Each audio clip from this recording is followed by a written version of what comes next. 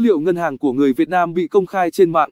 Mới đây, một thành viên của diễn đàn Red Forums đã tải lên một tập tin dữ liệu, được cho là có chứa thông tin người dùng của một ngân hàng tại Việt Nam.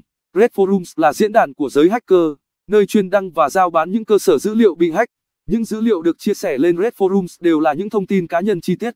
Các thông tin này bao gồm mã khách hàng, tên tuổi, ngày tháng năm sinh, số điện thoại, email, địa chỉ nhà riêng và nơi công tác của khoảng 2 triệu người Việt Nam.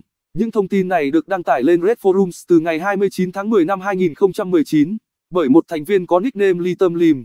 Đây là một tài khoản nạc danh mới được khởi tạo từ tháng 10 năm nay.